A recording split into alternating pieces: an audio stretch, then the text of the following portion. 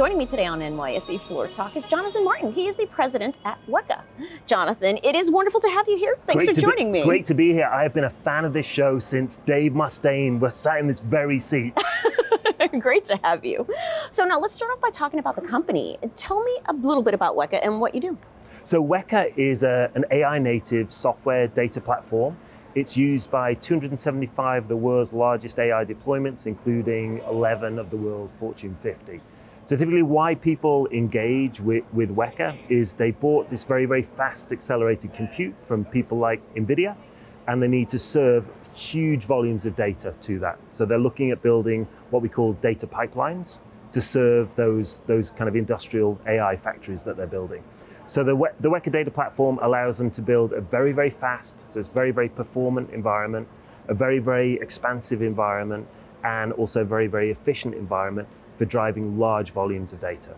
The benefit to them is that they're able to, to massively reduce the time it takes to do artificial intelligence. So what AI people would call the time it takes to do training of models or inference of models, they can compress that time by anywhere between 10 and 100 times. So if you can imagine being able to do 100 times more work in a single day, that's what the Weka data platform gives you. Okay. So Jonathan, beyond AI, you've supported some exciting projects in the media and entertainment space recently, running huge workloads in the cloud at peak efficiency.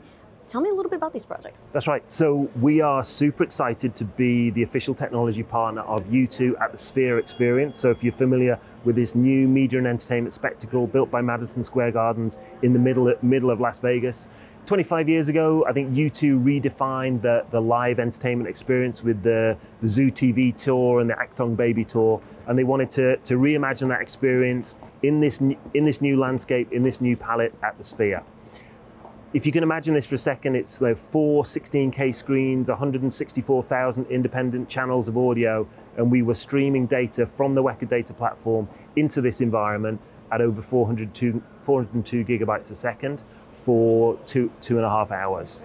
Um, we, we're very deep in the media and entertainment space, so a lot of the your favorite films, your favorite TV shows, a lot of live broadcasts are all based on Weka, as well as the 15 of the Super Bowl commercials that you saw this year were also built on Weka. Outside of uh, media and entertainment, segments like the federal space, life sciences, financial services are all adopting AI technology very, very quickly. So they've been great customers for us too. And then over the last year, we've seen an explosion in generative AI with the advent of ChatGPT and the explosion that came from that. And then also a lot of these new GPU cloud companies are also based on Weka. So companies like Iris, people like Stability, people like Midjourney, people like NexGen, all built on Weka. Now, AI innovation, no signs of slowing down there. Tell me, what should companies be thinking about when scaling AI? So, so a lot of people, they get, get religion on, on compute, right? And so they, they go out, they buy their first GPUs, they go and buy some fa fast network. And, you know, since the dawn of time, it, infrastructure has really been a, been a triangle with kind of compute on one side, network on the second side, and storage or data infrastructure on the third. In these AI projects, two corners of the triangle have taken a massive leap forward. So all of a sudden, GPUs can process data faster than CPUs by anywhere between 100 and 1,000 times. If they're using networking, they're using you know 400 gigabit or 800 gigabit networking but they're trying to use the same storage infrastructure that they built their CRM or their ERP system on 15 or 20 years ago. So as people move, move into production, they realize that these very, very fast GPUs cannot be served enough data. And that's kind of when they go on their, on their journey to begin looking for a new sto storage supplier. We, we joke that these GPUs, a lot of the time, they're kind of like sloths. They're asleep about 70% of the time. The challenge with that is even though they're asleep, even though they're, they're not processing data, they're consuming electricity and they consume a tremendous amount of electricity. And so by pairing very fast compute, very fast networking, and a very fast data platform like the Weka data platform, they're able to really deliver on the promise of AI in, in a way that is unimaginable. Now, Weka recently launched a sustainable AI initiative. Tell me about that. Yeah, so, so as we mentioned, the, these AI environments are in incredibly power intensive. So for typically a thousand GPUs that you might be deploying, you're consuming a, a megawatt of power. Last year, we saw people putting in orders for tens of thousands or hundreds of thousands of GPUs. So, so the power requirements are enormous. So enormous that in Sam Altman's speech at Davos earlier this year, he, he described that the world doesn't truly appreciate the energy requirements of AI. And he believes that one of the biggest challenges for AI is really being able to supply enough power to these environments.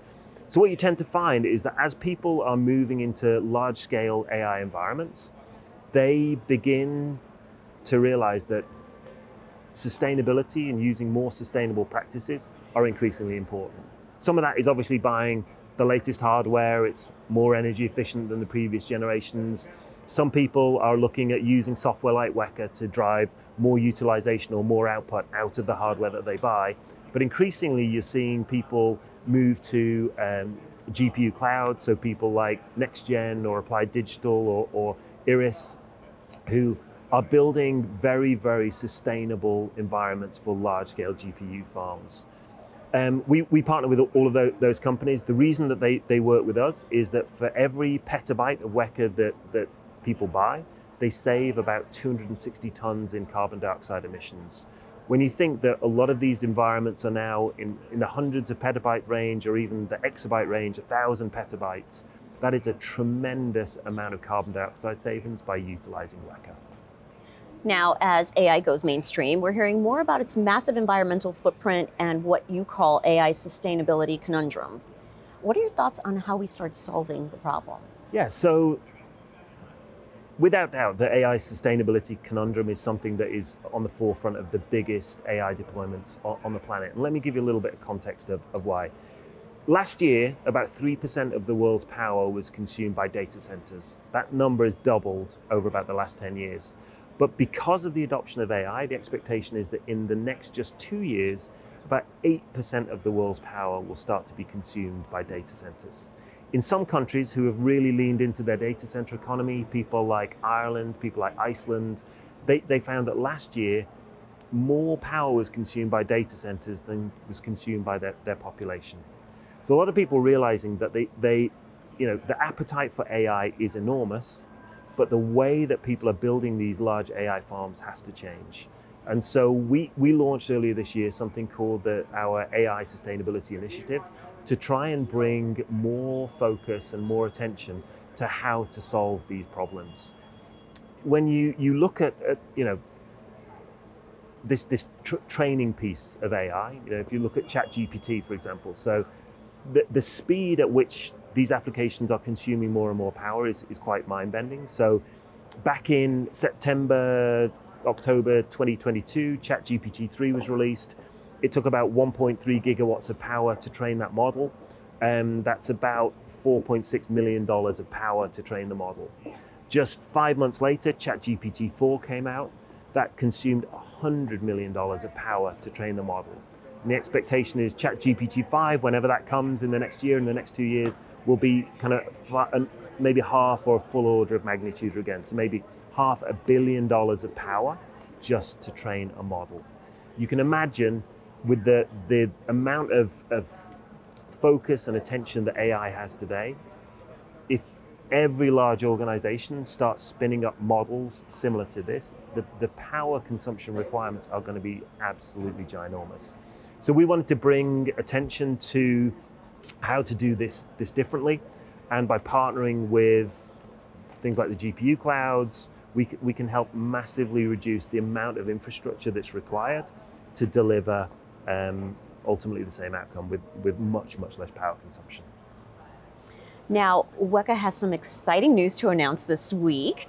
Could you tell me about it and what it means for enterprises? We do. So we have some great news. We have an extended partnership with NVIDIA. NVIDIA is one of the original investors in Weka in, back in the early days, but this week we have announced um, our certification of a, a, new product called the Weka Pod.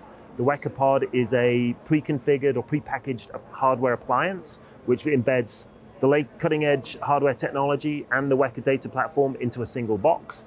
And using that, the Weka Pod, We've certified that with the NVIDIA DGX SuperPod environment, a lot of pods going on here, to, to be able to bring customers the best in processing from, uh, from NVIDIA and data platform from Weka. what this means is customers now have incredible choice. Same great capabilities, same from the same product. They can get it in their data centers as a reference architecture from Dell or HP or Lenovo or Supermicro. They can get it on the cloud, same capabilities available on AWS or Azure or GCP or OCI, but they can also now get it as a third choice in this pre-packaged appliance. We believe some customers just want to press the easy button for AI. They just want to roll in a box, plug it in, turn it on, and have all those great capabilities. So again, in conjunction with, with NVIDIA, super excited to be able to share that with the world today. And finally, Jonathan, what's next for Weka? So I, I believe we are the, in the very, very early days of, of the AI revolution. L- last year, a lot of the, the early adopters were focusing on industrializing their ingestion and training. This year, they're going to move to, to inference. Inference is going to demand about 10 times more infrastructure than training.